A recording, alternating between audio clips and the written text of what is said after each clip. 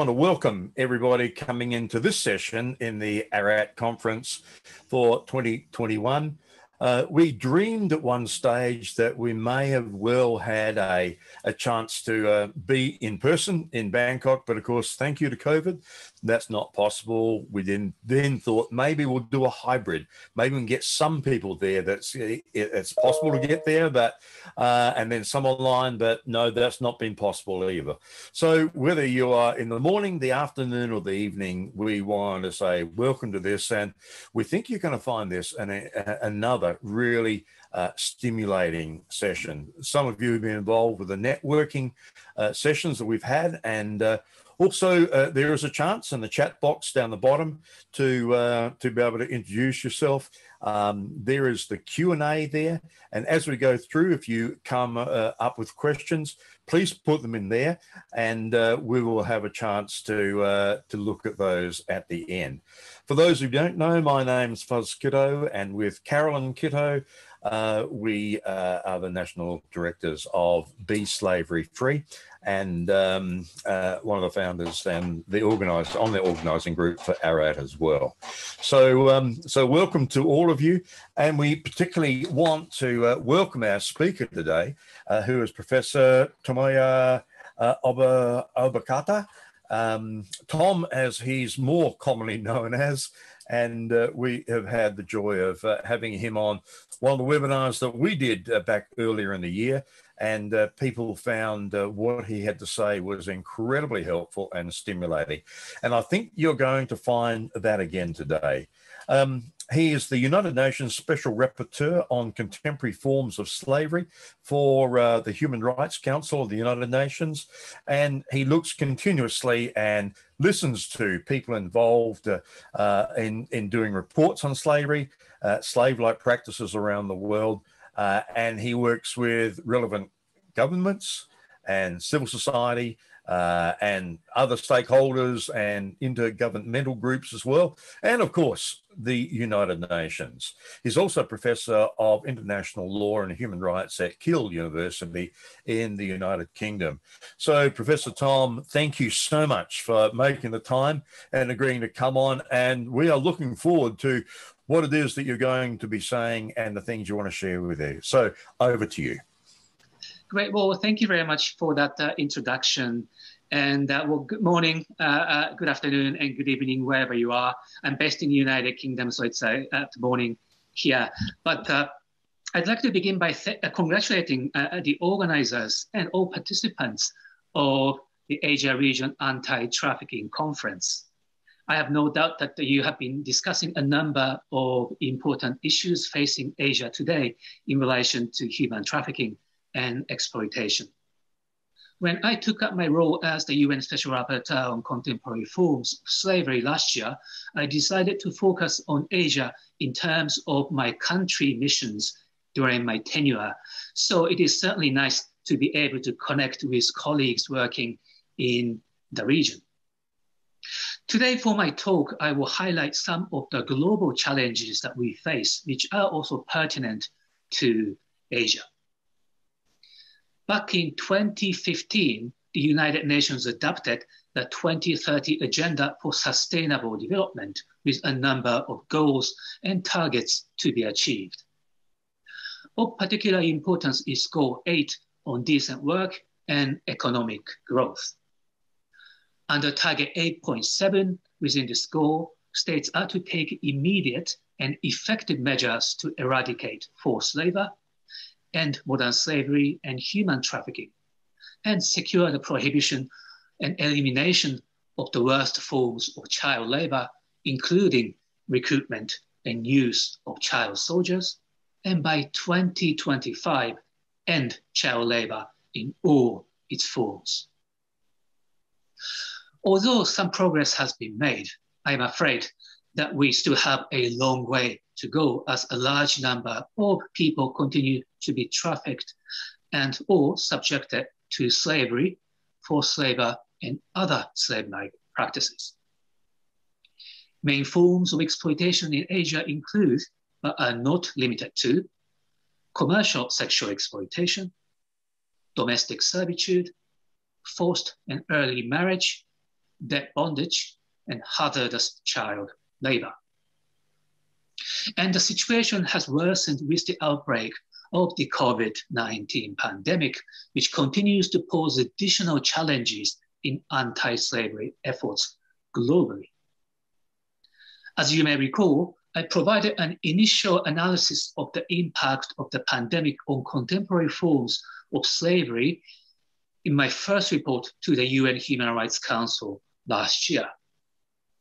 And although the situation has been constantly evolving since, some of the findings in that report remain valid today, as many states, including those in Asia, are still struggling to contain the virus. For instance, pandemic has had a negative impact on law enforcement responses to contemporary slavery in Asia.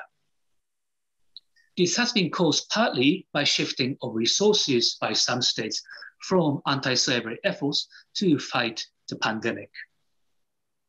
This and other factors, such as remote working implemented as part of national lockdown measures, resulted in major delays in investigation, prosecution, and punishment of slavery, forced labor, and other slave-like practices. I have also discovered that the work of frontline organizations, including civil society organizations and trade unions, has been affected. Although some have been able to provide services remotely, many victims have not been able to access them in various parts of the world, including Asia. As a result, identification and protection of victims already held in contemporary forms of slavery have become very difficult. Another major impact is unemployment. According to the International Labour Office Organization and Asian Development Bank, approximately 6% of working hours were lost in Asia and the Pacific alone during the first quarter of 2020. Now, this doesn't seem like a big number, but in practice translates into 247 million full-time jobs. An example of affected sector in Asia is the garment industry, where a large number of factories had to suspend their operations due to cancellations of orders from other regions of the world. And this resulted in mass unemployment. Although workers in some high income states in a region have been able to receive protection through job retention and wider social security measures. This has not been the case for many others in middle and low income states. Even before the pandemic, a large number of people in Asia worked in the informal economy where protection from states had been limited or non-existent. Unemployment in the context of the pandemic has meant an increase in competition for scarce jobs, and many people, many workers in Asia have had no choice but to accept even more exploitative or abusive jobs and working conditions which amount to slavery, forced labor, and other slave-like practices. Here, we need to pay attention to particularly vulnerable populations. In the garment industry in Bangladesh, Cambodia, and Vietnam, for example, women have been severely affected as they constituted the majority of the workforce in the sector. There have been disturbing reports of unemployed women resorting to so-called transactional sex in order to survive and support their family. Another example is people suffering from caste-based discrimination in South Asia who have also been disproportionately affected by unemployment. In addition, I have seen accounts of unemployed workers in Asia being pushed into illegal economy, which is mainly controlled by criminals. For example, exploitation in forced prostitution and other criminal activities such, such as drug production and trafficking, forced begging, and theft.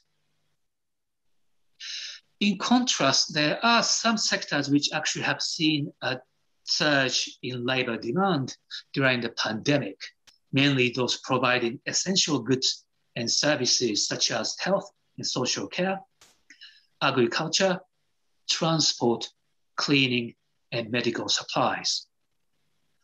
Workers in these sectors have been able to retain their jobs, but I have seen evidence of exploitative and abusive working conditions, such as low or no wages, long working hours, inability to take annual or sick leave, violence at workplace, and an increased risk of COVID-19 infection. The garment industry in Asia, for example, has been shifting to production of PPE, but unfortunately, indicators of forced labor have been reported in states like China, Malaysia, and Pakistan. Harsh working conditions have also been noted in the Thai and Indonesian fishing industry as well.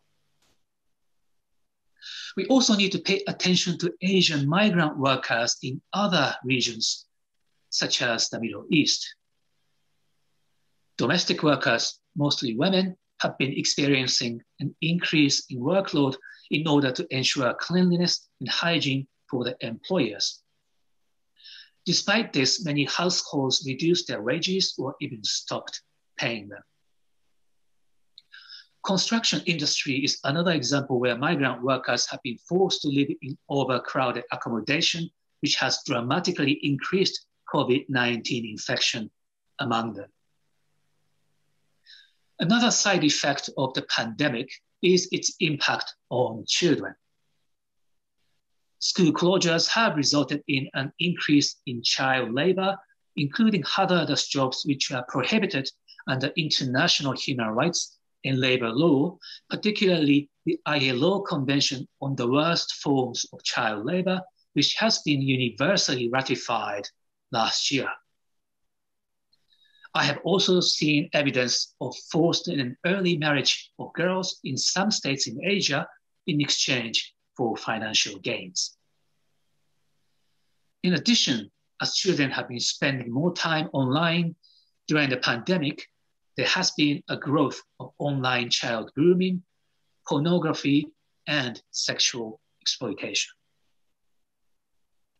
It is important to recognize that the vast majority of the UN member states, including Asian nations, have implemented some forms of protection ranging from job retention schemes and cash transfer to enhanced social security and unemployment benefits.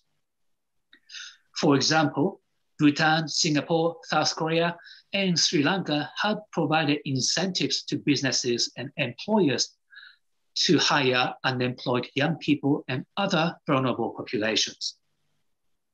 Indonesia's pre-employment card program has provided vouchers for training and reskilling to unemployed workers, which was said to have benefited 5.6 million unemployed workers particularly in the informal sector.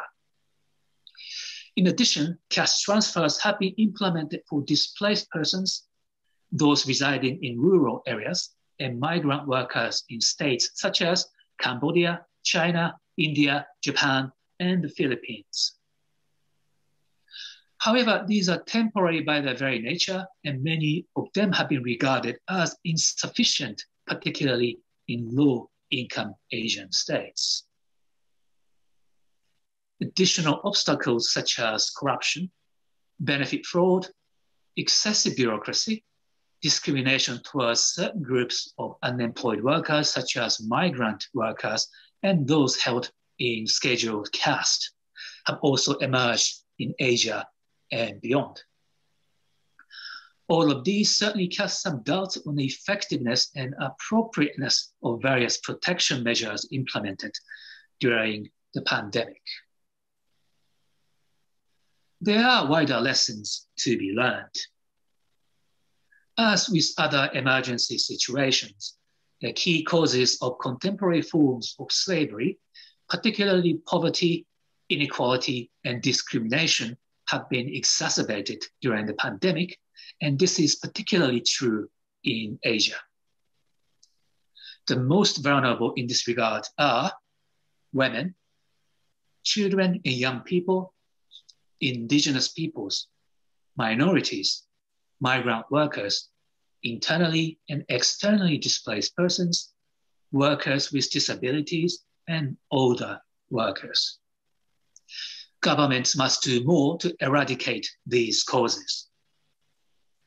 At the very minimum, equal access to education, training, decent work, as well as labor and social protection must be secured through legislative and other means in order to prevent these vulnerable people from being subjected to contemporary forms of slavery.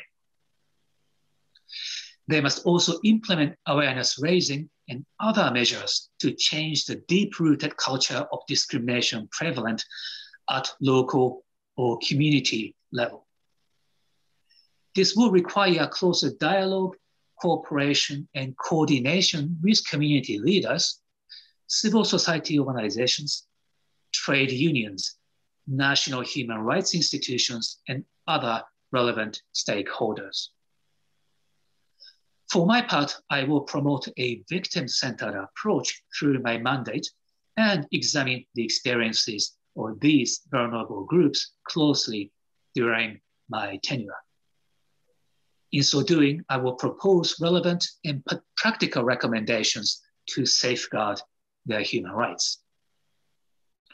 This year, my upcoming report to the UN Human Rights Council in September will focus on displaced persons, such as refugees, asylum seekers, internally displaced and stateless persons, many of whom reside in Asia and the Pacific.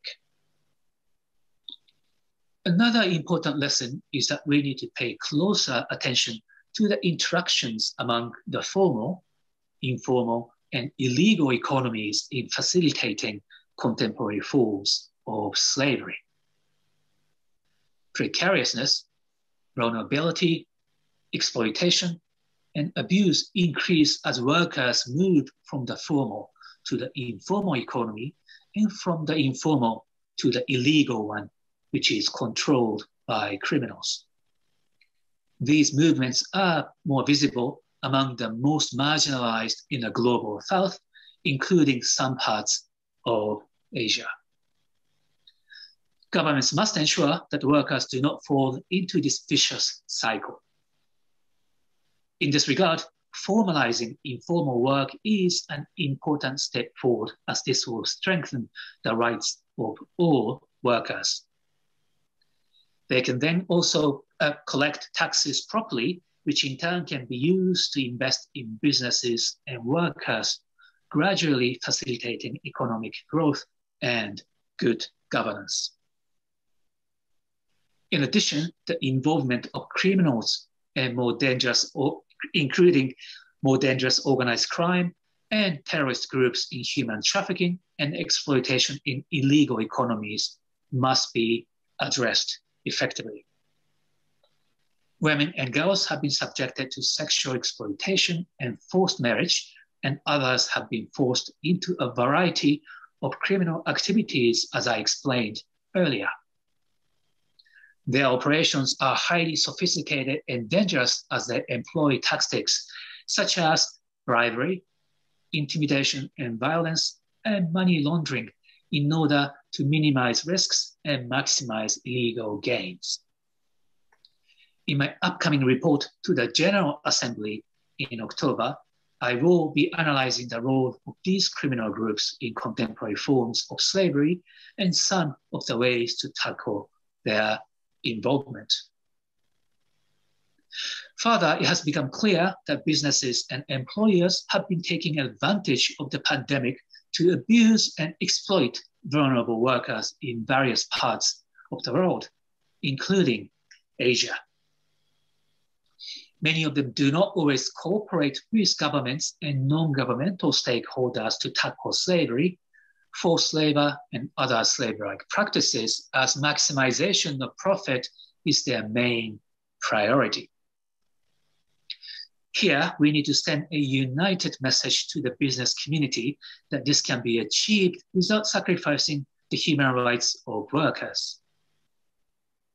Robust protection of their rights, including trade union rights and just and favorable conditions of work, is more likely to enhance productivity on the part of workers, which in turn will lead to profitability in the long run. I therefore urge businesses and employers to take human rights due diligence in their operations more seriously in line with the UN guiding principles on business and human rights. Governments must also do more to hold them accountable, as I have seen evidence of them not enforcing criminal, labor, health, and safety laws and regulations rigorously.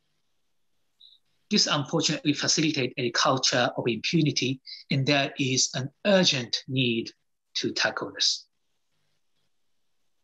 There are wider challenges we face today globally.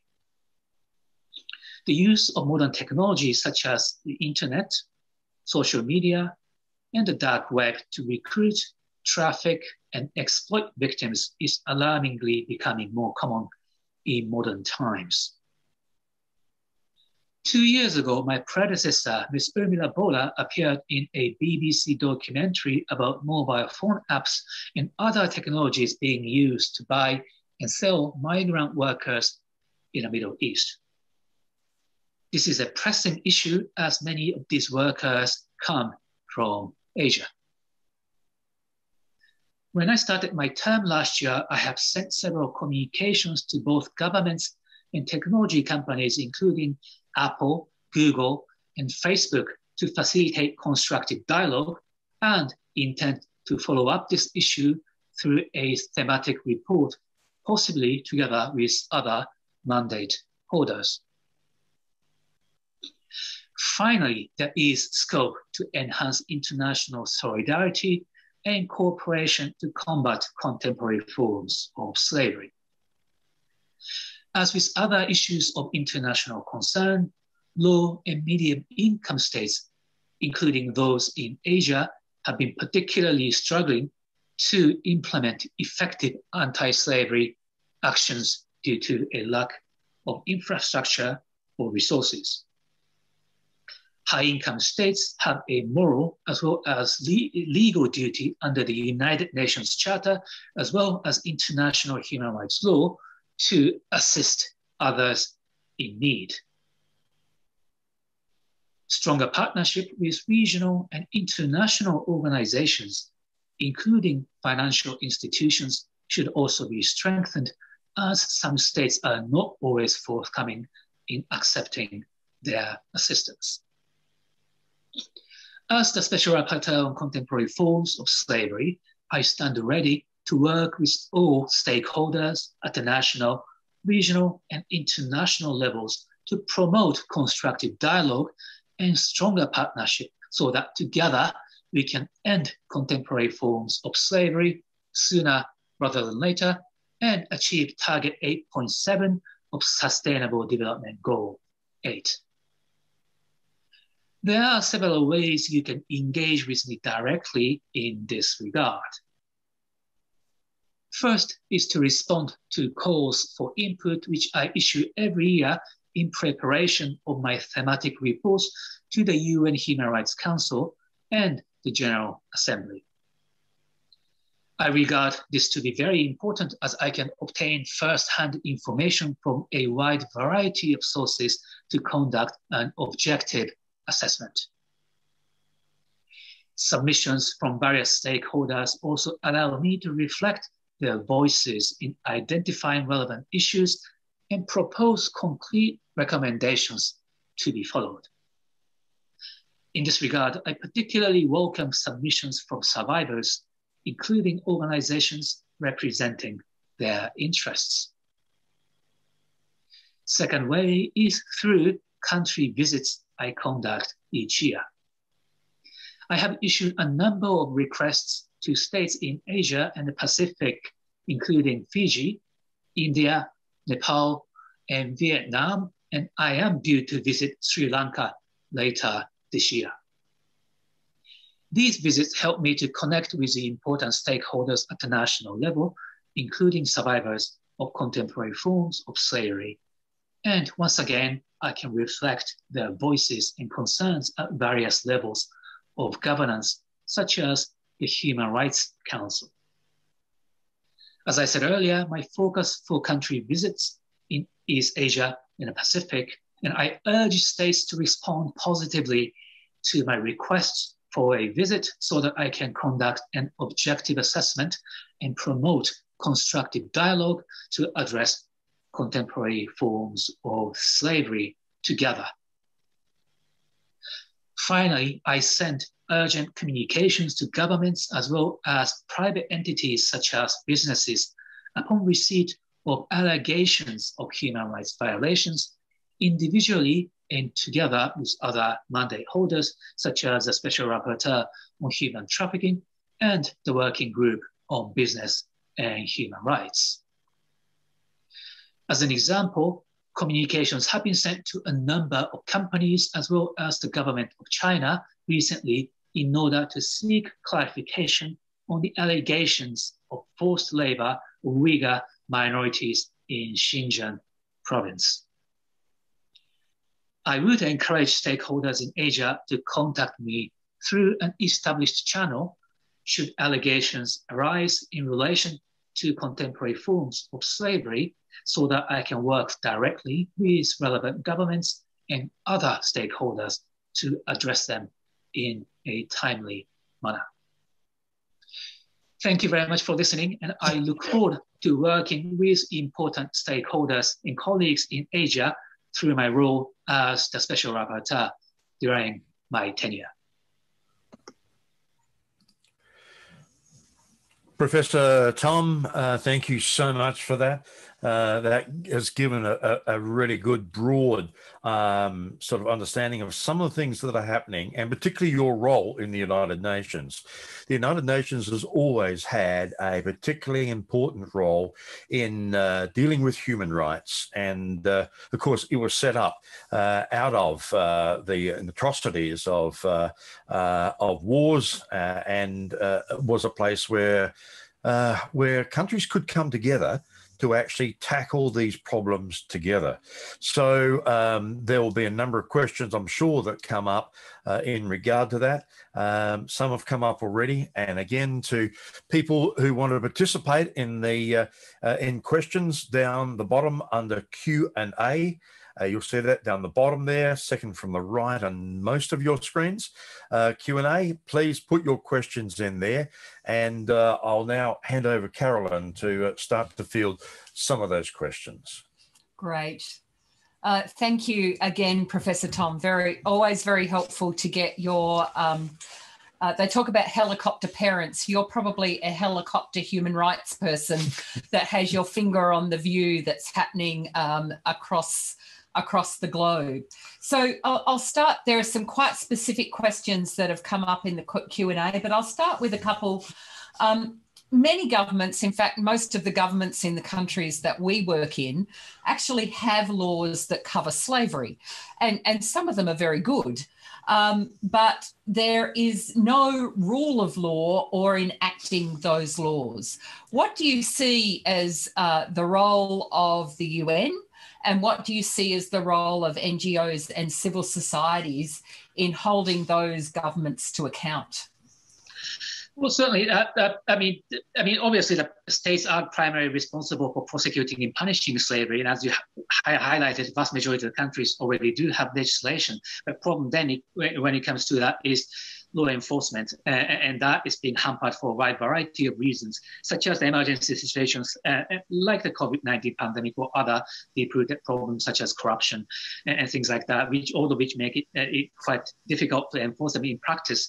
And my role as a United Nations, uh, obviously, I am an invest, in, independent investigator. So what I can do on my part is investigate these uh, matters and, and, and you know actively you know, raise awareness and publicize findings at the, the national and international and regional levels. And hopefully that may, uh, to an extent, put some pressure on various states to act more promptly, uh, uh, uh you know, uh, to enforce these uh, laws and regulations and protect victims. And I think that that's one thing. And I also do uh, once again on through country visits and other means and hold uh, informal and formal dialogues with states.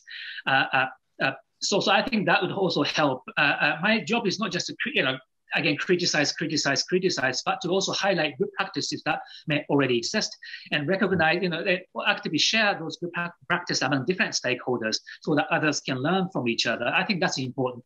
That's where uh, I can come in and, and to kind of uh, disseminate information about good practice. And, and, if there are areas of concern, I will also highlight that, uh, frankly, with uh, states so that they can uh, uh, Uh, uh, kind of uh, consider, obviously, improving uh, in their respective situations. And the role of civil society sector is, is, is particularly important in actually you know, reflecting the voices, uh, the voices of the victims in particular, and they have to be part of the decision-making process in all anti-slavery efforts. If they are being excluded, I don't think you know you can implement a truly effective response because you are implementing something that may not actually benefit the victims or civil society organizations or to address the root causes. So it is important for governments to listen actually to the non-governmental stakeholders, particularly survivors of victims in, in Asia and beyond. And they can also, again, facilitate that, that you know,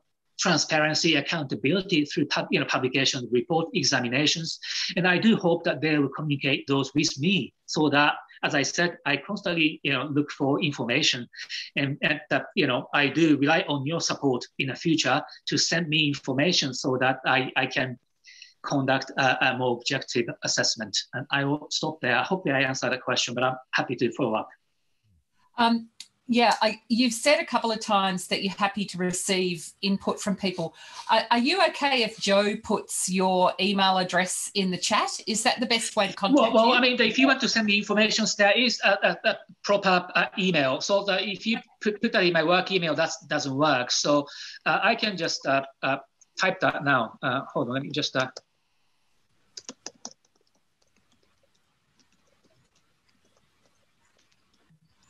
that's uh, that's the official email uh, account, and that goes to the uh, uh, uh the OHCHR, and, and, then we will receive uh, information. And there is a separate channel for sending communications that relates to urgent communications. So if you see the cases of people you know, being held slavery in front of your eyes, and if you want to contact me directly, then there's a that's urgent communication procedures that gets to me quite quickly than uh, uh, usual, and then then I will be in a position to work directly with the government straight away, uh, compared to you know other uh, you know mechanisms which may take uh, a longer. Uh, um, once again, that is to again we act, act, act upon allegations. So it is my job to kind of seek clarification, and if something's not being done, and I re recommend the government to take certain actions to hmm. you know address that particular situation. Yeah, great. Excellent. So that email address is in the chat.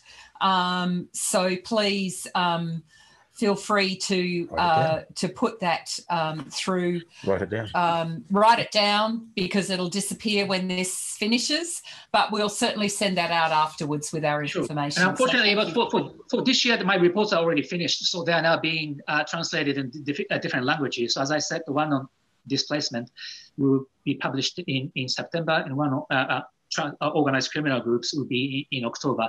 But next year, I'll be hoping to examine you know, other issues such as the technology or potentially other vulnerable populations, which I'm yet to uh, determine. But we will, I will issue a call for inputs in advance so that uh, you can all uh, forward your information. Excellent. That's fabulous. Um, just um, a, a, question. Um, some some NGOs are finding that um, governments are bringing in or have in brought in laws that are trying to control what NGOs who receive overseas or international funding are actually able to do, and this uh, this is concerning in the impact that it has with people working with people in modern slavery, mm-hmm. because often um, helping survivors not only requires um, practical help, but it also requires advocacy work. And some of that is being stifled. Um, what can the United Nations do and what can NGOs do to engage in this question around um, foreign funding of NGOs working on human rights issues? Yes, certainly. I think that's a, that's happening in various parts of the world, uh, not particularly, you know, not just in Asia. And I think that indeed is a, a, a disturbing scenario. NGOs should be able to work uh, freely without, uh, you know, uh, influence from uh, the restriction from, from the governments. And uh, for my part, certainly I do address the issue of contemporary forms of slavery, but we also have a special rapporteur on human rights defenders. Uh, uh, uh, as well, and she's also working around the clock to work with the governments. That we independent special rapporteurs can work directly with the governments in ha having in informal and formal consultations and dialogue and, and, so on. But the United Nations, the Human Rights Council should bring that onto the agenda and actively debate and discuss it and propose uh, uh, solutions. And, and, so, so that's, you know, we can do our part in, in investigating and, and bring that to light. But I think there must be a political will at, that, at the Human Rights Council, as well as the General Assembly, in saying this is not an acceptable behavior. Uh, and, and, therefore, the all civil society organizations must be able to conduct their businesses without any interference of, of, of any kind, particularly financial pressure. I, I think that's uh, uh, uh, you know, is is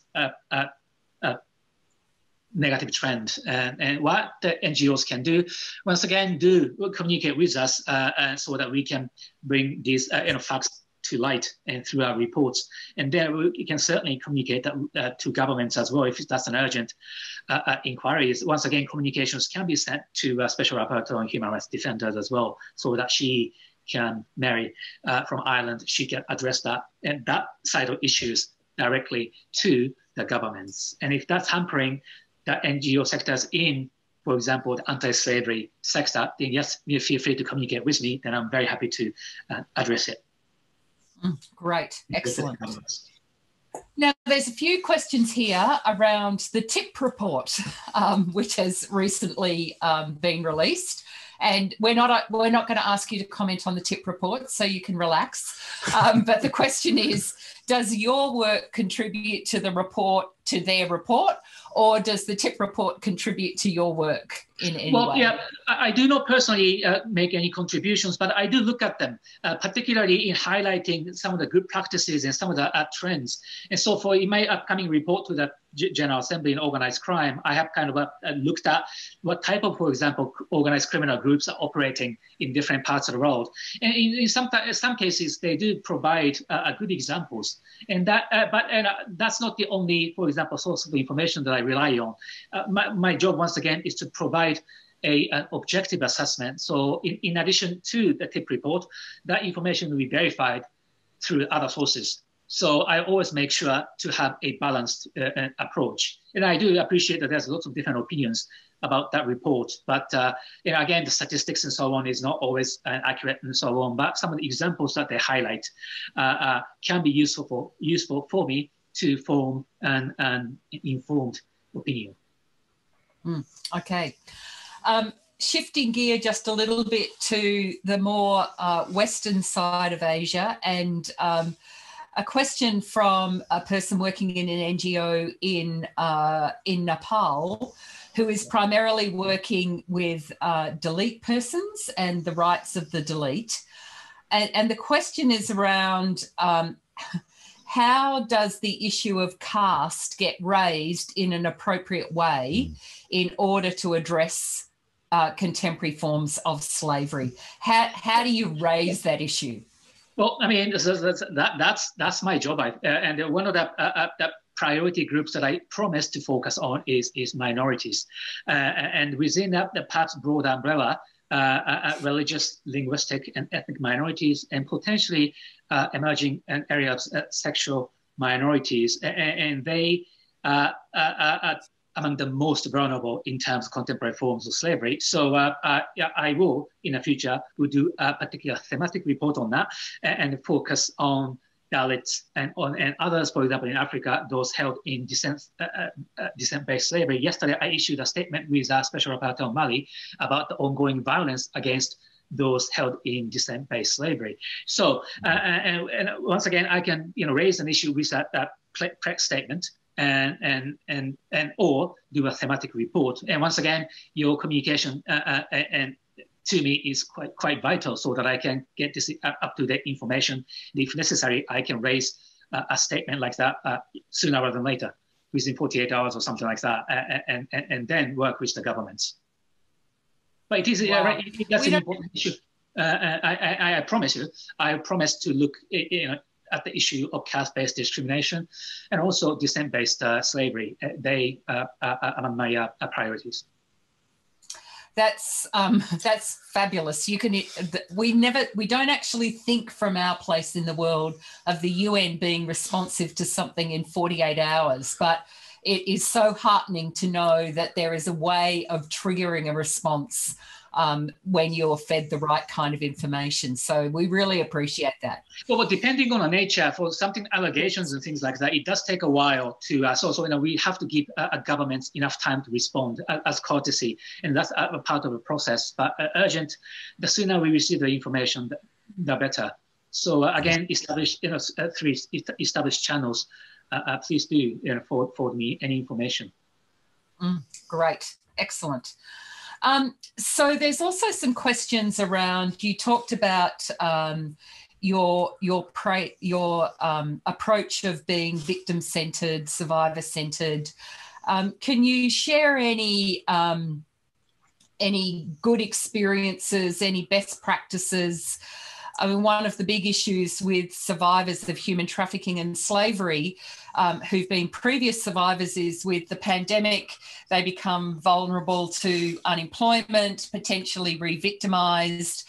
Have you heard of any practices or ways in which different groups are working effectively on those issues or governments? Certainly, the, the, the, first and foremost, it's important to recognize the role of civil society sectors, community leaders, and, and trade unions uh, have been at the forefront of protection of unemployed workers during the pandemic. And I have seen a number of important initiatives, for example, trade unions working with the governments to create jobs and working with businesses to create jobs for uh, particularly affected workers in, in informal sector and so on. And some of the governments, as I said in my speech, have provided, uh, for example, cash incentives to women in different parts of the world. And so if you are a single mother or if you're working mothers, you get extra benefits, for example, if you are female. And something like that is to be, I think, is to be uh, acknowledged and, and, widely shared. And obviously the uh, NGO sector have had also a difficult time uh, because of the lockdown and lack of funding, but many of them have moved to uh, providing online services. Uh, and that have benefited some, uh, you know, a good number of victims certainly, but you know that's not always the case in different parts of the world. And not always you know, you know every victim has an access to for example internet or phone and, and things like that. Uh, uh, in western countries maybe but if you look at the remote countries in africa or asia uh, we can't expect them to be able to access these services let alone they probably don't know these services do exist. So there is that kind of challenge as well in terms of uh, getting the information out to uh, these victims. And uh, uh again, uh, lots of uh, I've seen some good examples in Africa where the African governments are, you know, you know, implementing online and, education through online or TV or radio to ch- to children so that they can stay at school instead of being pushed into child labor and other forms of child exploitation. So there are a number of good, uh, you know, uh, emerging, you know, examples uh, in all regions of the world, including Asia and the Pacific. Great, great. Now we're going to shift um, over to the Middle East, and um, Margaret Stafford is asking, in in the Middle East, um, it's it's very difficult to have the place of NGOs recognised, um, especially for people to know that NGOs are there to help when sometimes the government systems um, are not necessarily helpful, particularly to domestic workers and women. So, any advice? well, I mean, uh, of, course, I mean, in many of these uh, the Middle Eastern uh, countries, that the activities of NGOs have been restricted. Uh, and that I, I, you know, I, I am very much aware of that. And so I'm, I'm also hoping to uh, visit some of these countries have sent a request to Qatar, uh, which has accepted but postponed. Uh, uh, and I'm hoping to go there, be, uh, you know, may, maybe next, potentially next year before the World uh, in World Cup, uh, and and, and that, is, that becomes all political. And also sent a request to Kuwait. uh, other countries so that I can actually go in and meet with these, uh, uh, uh you know, civil society and all stakeholders to, uh, again, the important thing is to promote a dialogue. I mean, you know, again, antagonistic relationships may not always always work. So it's one of the things I like to do is to promote, facilitate that dialogue being there, bring everyone together for a constructive dialogue so that instead of opposing each other, let's try to find ways to work together. And that's uh, always uh, uh, uh, most effective ways. So uh, uh, I would always encourage governments to, again, include all, all stakeholders in decision making. I think, and, that, and that's easier said than done, I, I suppose, from the NGO's uh, perspectives. But again, if there's anything I can do, please let me know. Then I'm very happy to facilitate dialogue and, and things like that, if I, if I can, with, with in respective governments. Mm. That was tr- spoken like a true, honest diplomat. So, um, you know, we, we need to bring everyone to the table and and having non-anticipatory antagonistic conversations is is the most important um, for us to do. And um, yeah we can only facilitate that when we're working well together. So that's that's good. Um, there've been um, uh, and, and, you um, you highlighted uh, this previously. Um, the that COVID has uncovered a lot of things um, and it's uncovered a lot of systemic issues such as inequality, discrimination, um, racism, a number of those sorts of things. But but I guess the other thing is that the world has actually found a way to respond to a crisis um, it, in some places more successfully than others. What do you think we can learn from the successes of how COVID has been addressed for how we address what we believe is another crisis, which is contemporary forms of slavery in the world? Hmm.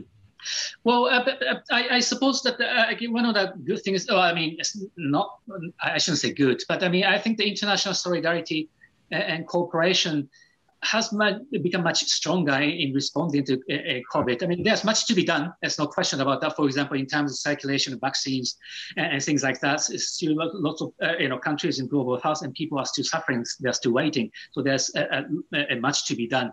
But I, I think uh, it also highlights that you know uh, important contributions made by not just the governments but other stakeholders who are you know uh, fighting with the pandemic day in and day out.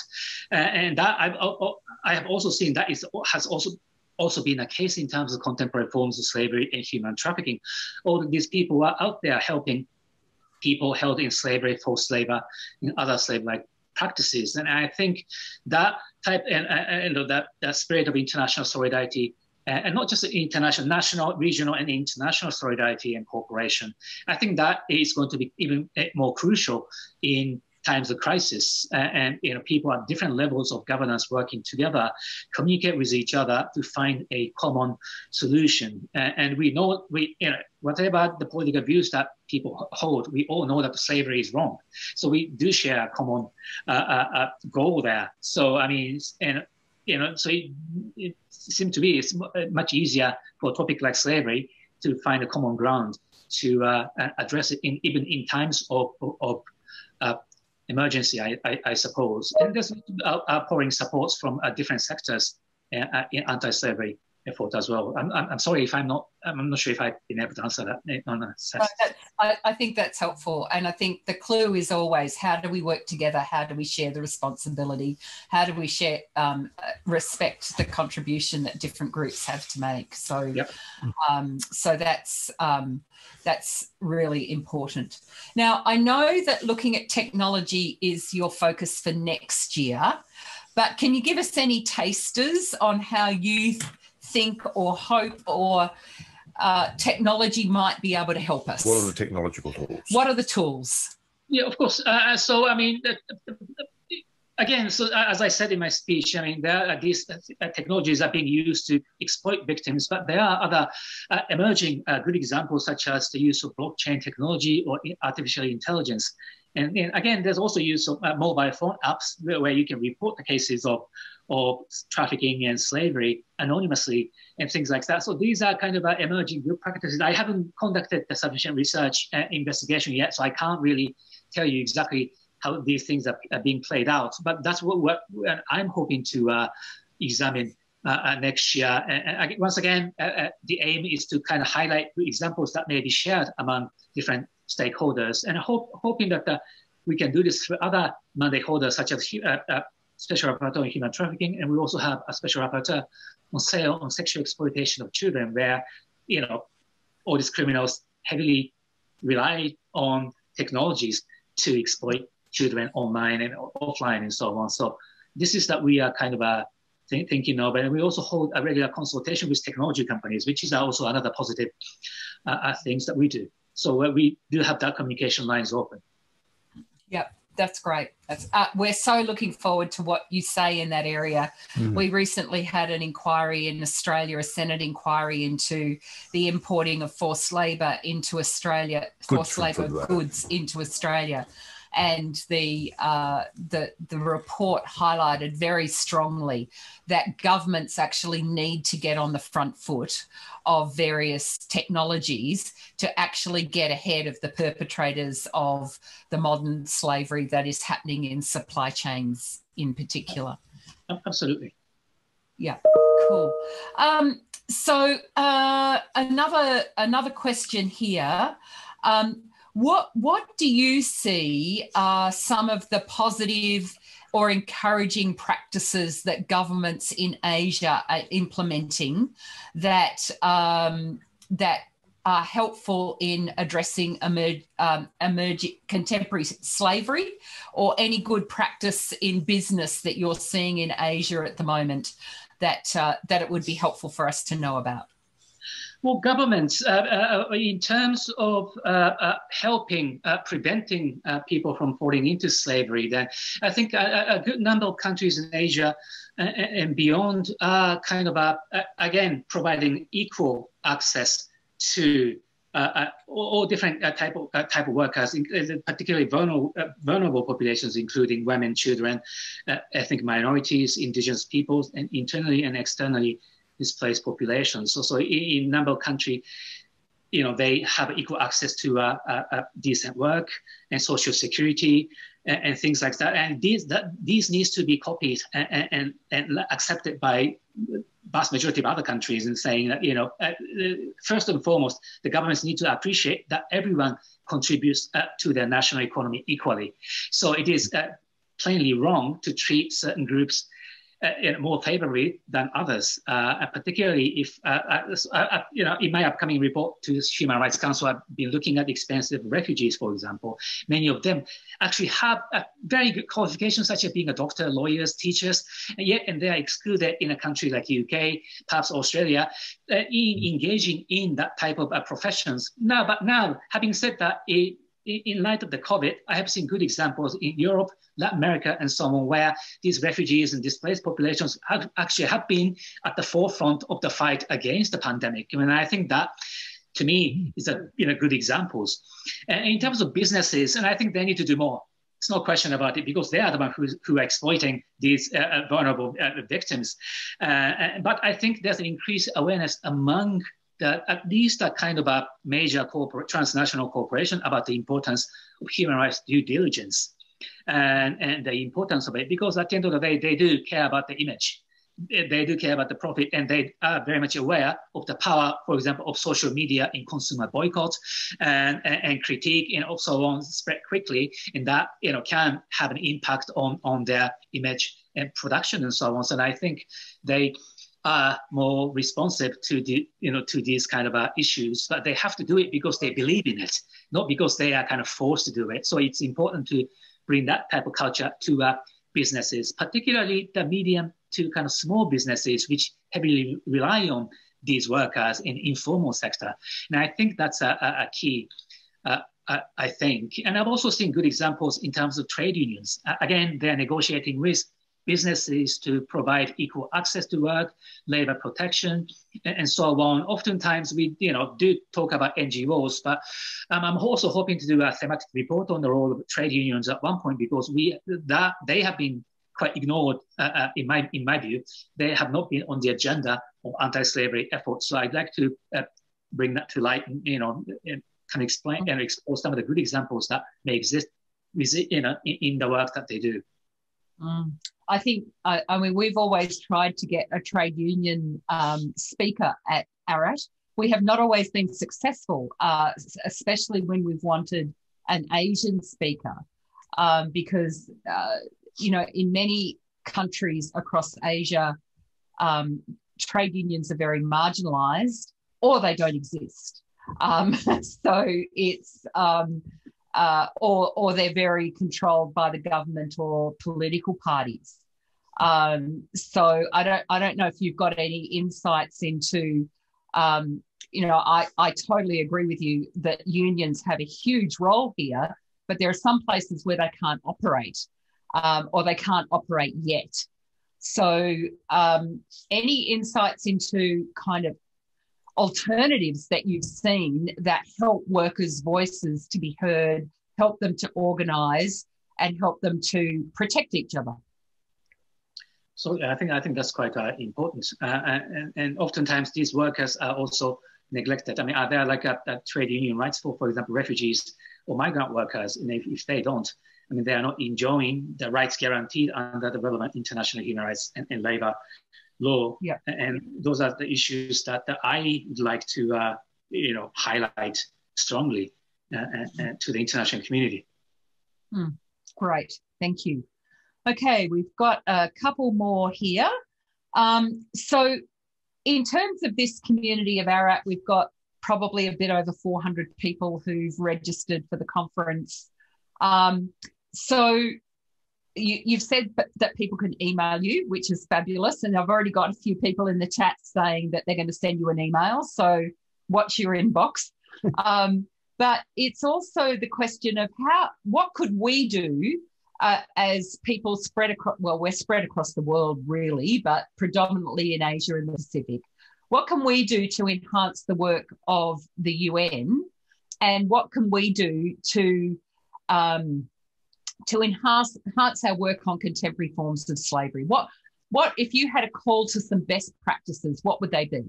Well, uh, uh, obviously, the sending us uh, information is is most uh, one of the most important things that you can do, and up to date, first hand information on the experience of, of survivors and so on. All, all of these are always important to me and my mandate. I'm sure that is the same for the special rapporteur on human trafficking. We are sep- two separate, so I don't deal with human trafficking per se, but I'm more concerned about what happens after they have been trafficked. So that's a kind of basic distinction there, but we share, you know, these things are always interlinked. You know, we can't talk about one without the other. So it, it's always the same.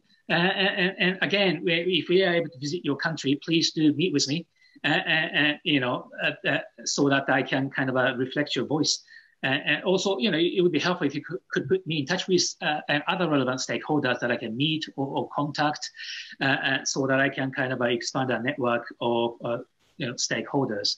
And if any of the groupings in, within this conference, you know, is having a stakeholders forum and so on, know, I'm very happy to uh, uh, uh come along and, and, give a speech uh, and, and or, participate in a webinar like like this, so that uh, you know I can kind of introduce myself and uh, we can establish a kind of a even informal partnership. I mean, and I think that's a kind of a for me that's quite important.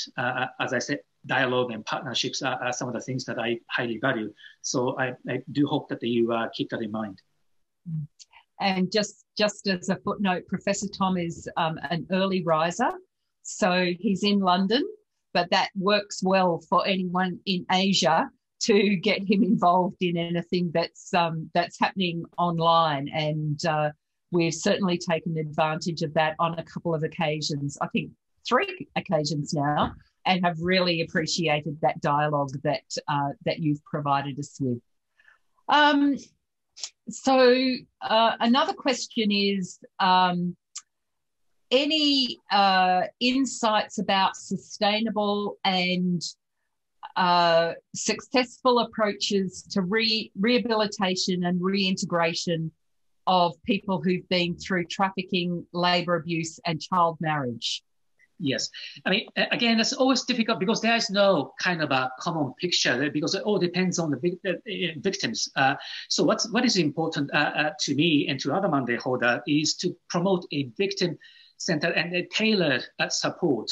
So you cannot provide the same support to women, children, and migrant workers because they have different individual needs. Even within children, there's lots of different uh, uh, you know, levels of victimizations. That all depends. What is important for states is to be flexible uh, and to provide a tailored you know, support depending on individual needs, whether it is a kind of a medical and psychological support for a few, you know, few months, uh, or, or you know, different uh, education training, or, or potentially uh, uh, repatriation and reintegration into their communities. But these are not. It is important that the states are, are aware that they are not criminals they are victims of gross violations of human rights, so they are entitled to stay in their respective countries and receive uh, appropriate level of protection that's under international human rights law. It doesn't matter if they're you know foreign, foreign illegal migrants. I mean, they are still human beings, and as such, they are entitled to the same level. Not may not be the same, but at least a minimum level of protection, and, and to for their psychological and, and physical recovery. So setting a time time time limit, for example, you have to you know you have to go home after 90 days, and and that's that's not acceptable to me and, and, to other mandate holders. Again, the government must be flexible to ensure that they are recovered, and then if they choose to you know to stay in, in their own countries, that should be facilitated. Once again, you know they are not really taking on you know stealing other people's jobs. They are contributing equally to their own societies and economies. And I think it's important to send that message to the public authorities. They are contributors, not criminals, to be excluded. They are entitled to the same level of social and labor protection. And that's, that's quite important. Mm-hmm. Um, one of the things that we that we often say in workshops at Be Slavery Free is that when it comes to um, prevention, you can do it on mass you can produce a brochure, you can put it on television, you can do it on billboards, and you can reach thousands and thousands, maybe millions of people.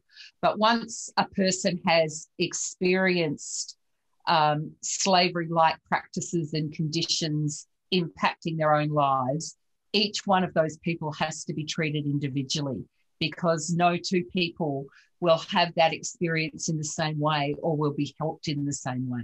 Absolutely. Um, so, so I think the tailored individual uh, individual approach is, is quite important. And I'm sure certain countries, well, particularly NGOs are very good at that. I'm not sure governments are actually doing it. Uh, still, uh, in many parts of the world, not just in Asia, they're seen as, as kind of a you know, perpetrators or, for example, criminal and immigration laws. So that's why that the Special Rapporteur on Human Trafficking just published a report on non-punishment principle, which is extremely important. Those people who have been trafficked and exploited should never be prosecuted and punished. They must be protected. I mean, that's that's crystal clear under international human rights law, and I fully support the special rapporteur on trafficking on, on that particular point.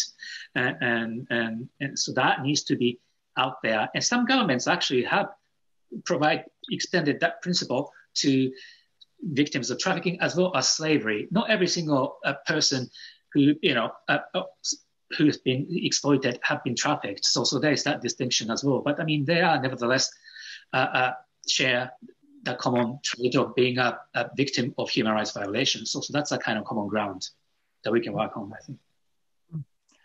Now, th- this next question might be a bit out of your um, realm, but you seem to be able to, to navigate many of them. So the UNODC put out a report earlier this year about who are the perpetrators of um, modern slavery. Mm-hmm. Um, and uh, their conclusion was in examining all of the uh, the cases that had happened around the world that by and large most of it was organized crime yeah gang um, so uh, does the UN support programs or are you aware of programs that address perpetrators beyond prosecution and incarceration?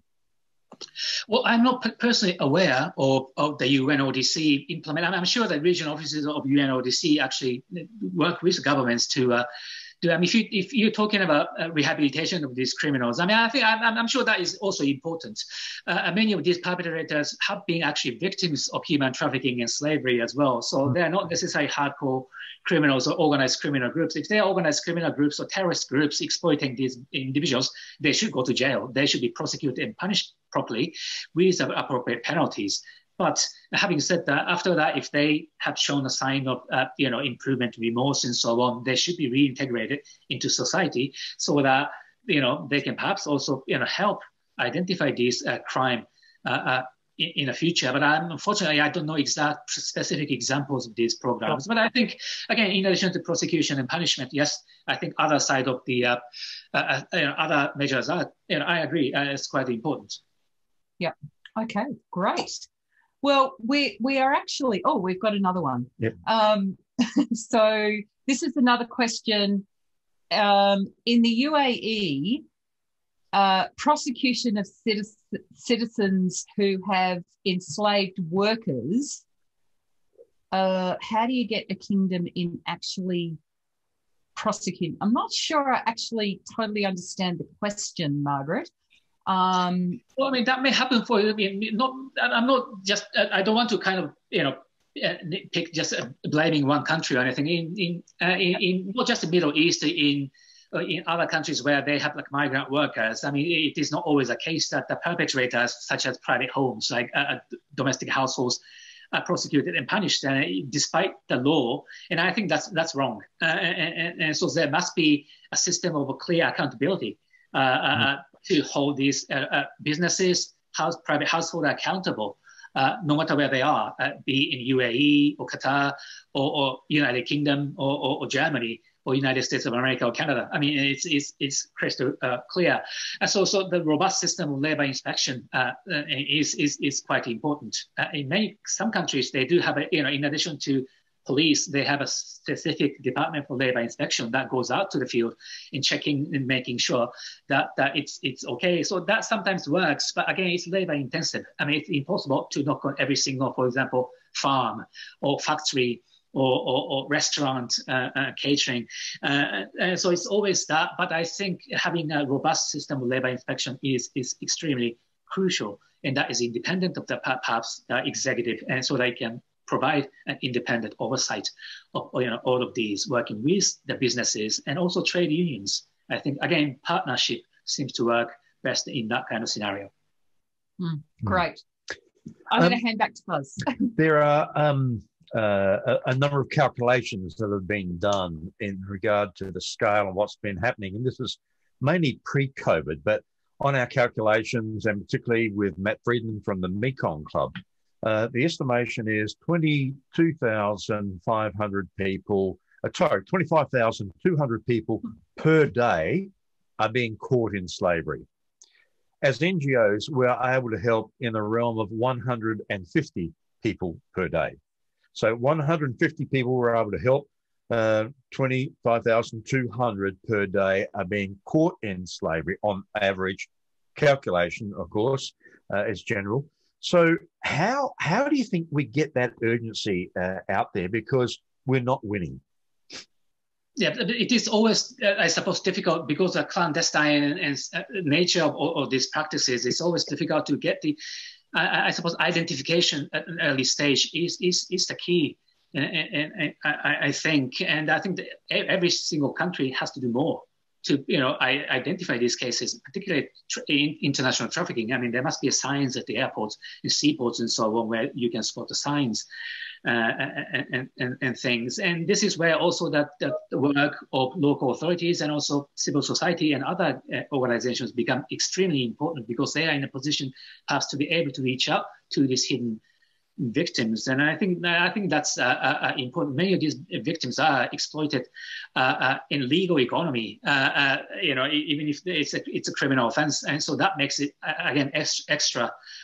difficult, I suppose. So, so it's, it's there's no one single way to address it, but I think raising awareness and also, again, let these victims know that there are ways that they can report. I mean, of, most, in many cases, these victims even do not even know that they are victims of human trafficking, for example, slavery. And I, I think and I think the information must be out there. So governments must do more to provide information. Also, NGOs, you know, are, are again at the forefront of providing that kind of information too. And, and but that has to be supported by uh, governments, really.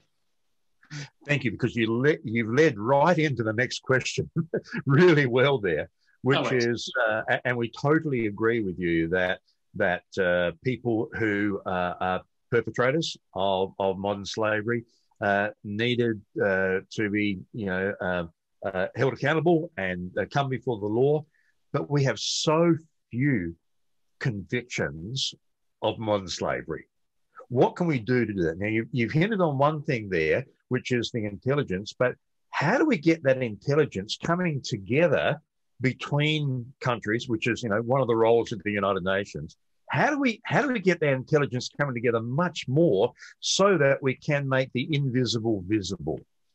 No, I think that's that's the important point. I mean, the prosecution rate and punishment rate seems to be quite uh, uh, quite low given the number of victims there are, and I think it's again. Uh, uh, is it that the police are not doing their jobs? I wouldn't say that. I mean, many many police forces and, and uh, different parts of the world are doing their at most. But I think one of the difficulty, once again, is that, that testimony evidence from victims. If these victims are not properly protected uh, and are able to stay in their, you know, in the countries, if they are being deported, you can't get concrete evidence.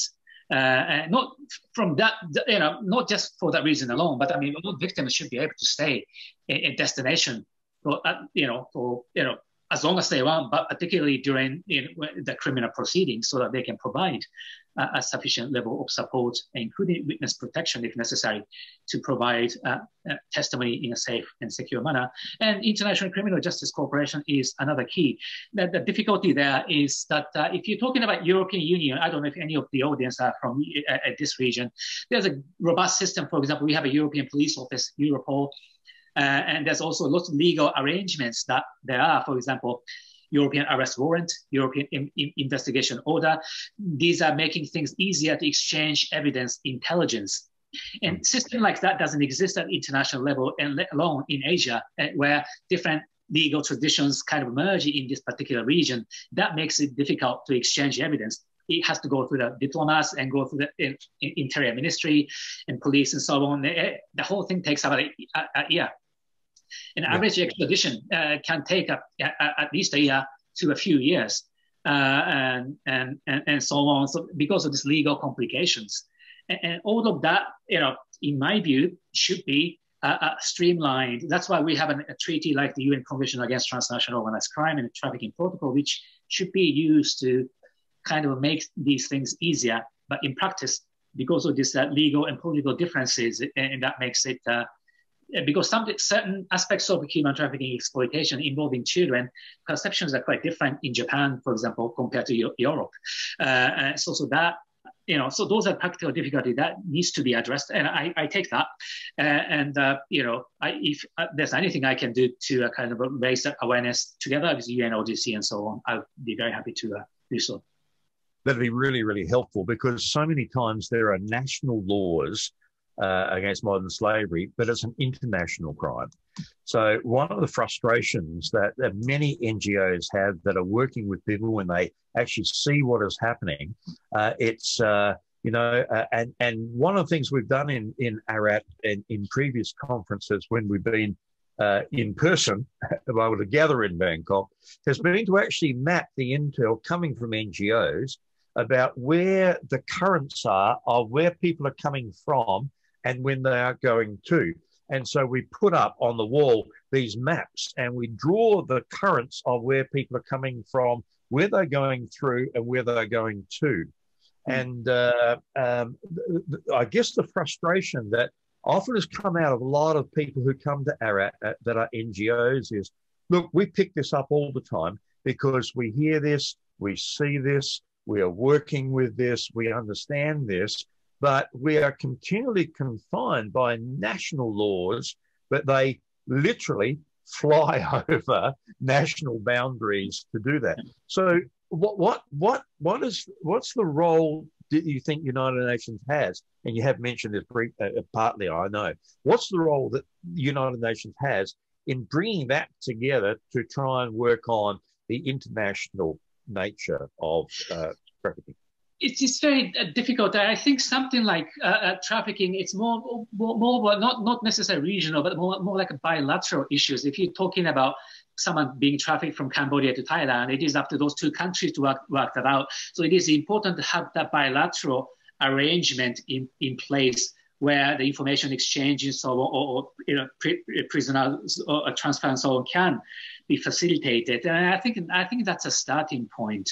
And I do appreciate the frustration and so on. But I think you know it is also important that you know that many NGOs actually do have good connection with local police and prosecutors. They exchange information all the time.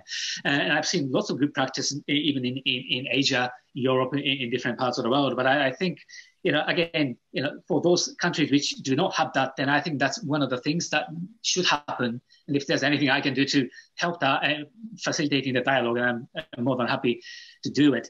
Uh, the, in terms of UN, like UNODC, uh, uh, they do not have that legal authority to. So that, compared to, for example, European Union, that's a different mechanism. Whether you know, some of like ASEAN and so on, Asian institutions want to facilitate that kind of a supranational legal structure like like EU, that that probably would be interesting. But I think there's lots of practical hurdle there, unfortunately. But working from the bilateral relations is is more realistic, I, I think, than you know tackling you know from the international level in, in this kind of a cross-border trafficking and exploitation. That is, I think. Thank you. You touched on something there again of frustration by a lot of observers, particularly with ASEAN, that says I, I, uh, they I, talk a lot, but we do not see much action coming out there, which really is needed across the region to be able to tackle a lot of this. So thank thank you for for actually raising that and mentioning that. Um, listen, uh, that's come to the end of our time, and and we really want to thank you for uh, making your time but not just making the time for your whole um, connection and offering to be engaged and to help out here. And it is so good for on the ground NGOs and organizations to, to know that, that you are there and there is this opportunity there to connect. Yeah, I also would like to th- thank you for inviting me today because I, it's nice to be able to uh, again connect with uh, so many uh, good over 100 uh, participants uh, coming to this talk, and I, I, am very touched, and it's, it's, very nice of them to uh, kind of and come listen. And again, hopefully this will be the beginning of a working relationship. I'll be in this post for the next five years. well, unless the human rights decides to abolish my post, which is highly unlikely because we still have this 2030 agenda, uh, abolition of slavery is one of the key goals anyway. So please do uh, uh, communicate uh, with me, and and and you know again, I will set, set, always send out the information about my country visit through my Twitter and and, and through my you know the UN OHCHR account and, and, things like that. So please, you know, keep that in mind and and, and uh, do communicate. Uh, and uh, I, am here. I, am not one of those, you know, supranational kind of institution where you, no one can reach. No, that's not the case. We, I'm very reachable. So please forward any information and uh, relevant information and so on in the future uh, uh, from now on. So, so that's that's uh, that's would be very much appreciated. Well, thank you so much for that generosity and for that openness. That that really does give uh, a lot of us uh, in the NGO world a lot of confidence to know that there is a, a touch point and a uh, an openness and generosity in that. And uh, we really want to thank you for that. So, um, uh, Professor Tom Obokata, thank you so much for uh, for your time, your insights, and your willingness. And thank you, everybody, for being involved in this session. And uh, we hope this has been helpful and open up again uh, opportunities and connecting points to be able to work together uh, on the, the global scale with the local realities. Absolutely. Thank, Thank you. you very much. Thank you. Have a good day, good afternoon, good evening.